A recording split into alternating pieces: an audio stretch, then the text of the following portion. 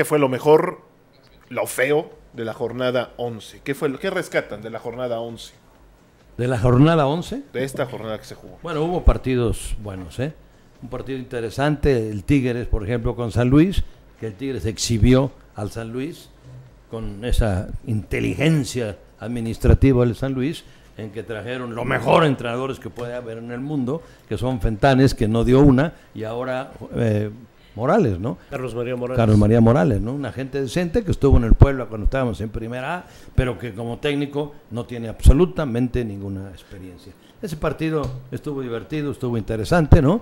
Un partido que te dio tristeza fue el partido eh, de Jaguares contra Cruz Azul. Cruz Azul, un equipo como el Cruz Azul, la importancia que tiene ese equipo, el recuerdo bueno que hay de ese equipo y el ridículo que hizo contra Jaguares, ¿no?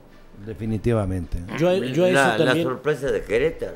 la sorpresa que esto, aunque ahí tiene sus bemoles, ¿eh? O sea, me dijeron, yo opiné eso en mi casa y casi me pegan, pero dije, bueno, espérate, no debían de permitir que un equipo de fútbol alinee puros suplentes en un momento dado, porque los Cholos alinearon puros suplentes en el primer tiempo y parte del segundo. Sí. Había un titular. Entonces, de alguna manera, está perjudicando al San Luis, Claro. están perjudicando al Atlas, están perjudicando al mismo pueblo. Está entregando prácticamente, entre comillas, el un partido, porque se O tiene sea, que ir a jugar a- contra el aunque Corinthians. Querétaro no tuvo la culpa, hizo lo, hizo lo posible, Claro. o hizo bien y metió Sí. su gol. Pero yo te aseguro que si hubieran luchado o hubieran jugado contra el, el, el Cholos Real, el, el Cholos con gente titular, no, igual Sí, no pero no hay que olvidar que Cholos tiene compromiso No, no, serio en la Libertadores. Eso no le hace.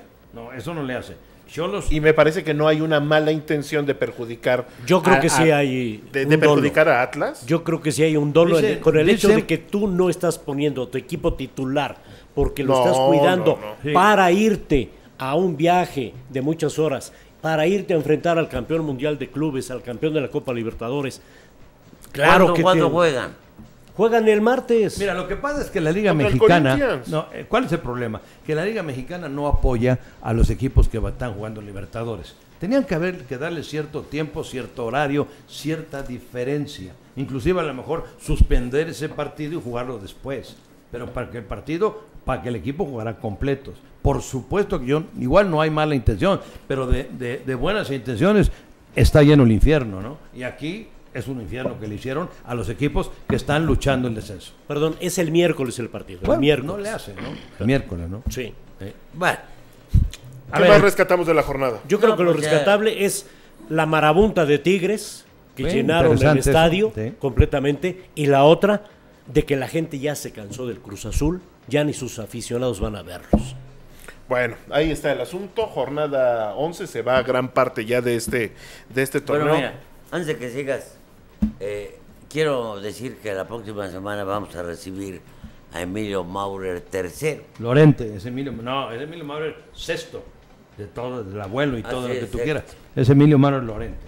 Es un chavo de 17 años que está logrando cosas muy importantes en el golf. Lo tendremos aquí en este estudio. Para Perfecto, sí, sí, porque vale la pena. Es una gente dedicada y una gente que además muy buen golfista y está ya escalando, escalando lugares que, que- que cualquier otro envidiaría. Nos vamos. Gracias, Hasta don luego, Emilio. que le vaya. Don Enrique, Pues nada, arriba el Barcelona. semana intensa la que nos espera. Sí. Ahí, Mañana. ahí puedo hacer una, una situación. Es, es- es- el Barcelona de alguna manera hizo menos a los entrenadores.